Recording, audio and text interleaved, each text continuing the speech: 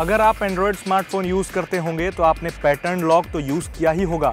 ज़ाहिर है, आप उसे अपनी सिक्योरिटी के लिए यूज़ कर रहे होंगे, लेकिन आप यह जानकर हैरान रह जाएँगे कि आपका सिक्योरिटी लॉक सिर्फ़ कुछ सेकंड्स में आपके सामने बैठा हुआ इंसान खोल सकता है। आप जिस वक्त अपने स्मार्टफ़ोन को पैटर्न लॉक के ज़रिए खोल रहे होंगे, आपके सामने बैठा हुआ इंसान उसी वक्त आपकी वीडियो बनाएगा और आपके द्वारा डाले गए पैटर्न को नोट कर लेगा। ब्रिटेन और चाइना की एक यूनिवर्सिटी के कुछ छात्रों ने ऐसी तकनीक डेवलप की है जिसके ज़रिए वीडियो में ऐसा एल्गोरिदम लगाया गया है जो आपके द्वारा किए गए अनलॉक पैटर्न को नोट कर लेता है। इस एल्गोरिदम की खासियत यह है कि आपका लॉक पैटर्न जितना कॉम्प्लेक्स होगा, आपके सामने बैठा हुआ साइबर क्रिमिनल उतनी आसानी से आपके स्मार्टफ़ोन को अनलॉक कर लेगा। रिसर्चर्स ने इसके लिए एक डेमोन्स्ट्रेशन भी जारी किया है, जिसमें बताया गया है कि पंचानवे फ़ीसदी सैंपल को पाँच अटेम्प्ट से भी कम में आसानी से अनलॉक कर दिया गया। ये पहली दफ़ा ऐसा नहीं है कि एंड्रॉयड का लॉक पैटर्न हैक किया गया है। इससे पहले भी कई बार एंड्रॉयड के लॉक पैटर्न में बग्स देखने को मिले हैं।